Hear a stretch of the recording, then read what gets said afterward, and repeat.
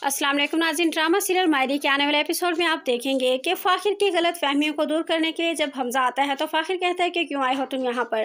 क्या अभी भी कुछ कहना बाकी था? जिस पर हमज़ा कहता है कि हाँ बहुत कुछ कहना बाकी था, क्योंकि तुम्हें जो कुछ दिखाया जा रहा है वो गलत है। जिस पर फ़ाखिर कहता है कि देखो, पहले तुमने बेवकूफ़ बनाया मेरी बीवी को, लेकिन वो तो मैं अच्छी तरह से जानता हूँ क्या नहीं ऐसी नहीं है।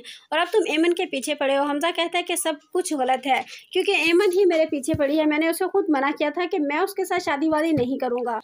फ़ाखिर कहता है कि देखो बेहतर होगा कि मेरी कज़न से दूर रहो। हमजा कहता है कि यार, मैं भी यही कहने आया हूँ कि तुम गलत समझ रहे हो।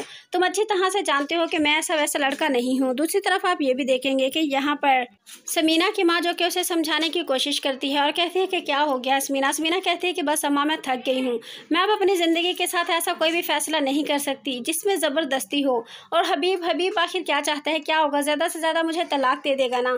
ठीक है मैं अपने बच्चों को लेकर कहीं और चले जाऊँगी। वैसे भी मैं फ़ायदा की शादी कर दूँगी, यानी शादीशुदा है। मेरा क्या है, कहीं भी किसी भी यतीम खाने में रह लूँगी जिस पर उसकी माँ कहती है कि, बेटा, तुम किस तरह की बातें कर रही हो? तुम मेरी इकलौती बेटी हो, मैं तुम्हें हमेशा से दुख में ही देखती आई हूँ। जिस पर आयशा कहती है कि, अम्मा, बस आपने मुझे पढ़ाया लिखाया नहीं, यही आपका कसूर है। ये सब देखेंगे आने वाले एपिसोड में। वीडियो अच्छी लगी हो तो लाइक कर दीजिएगा, फिर मिलते हैं, अल्लाह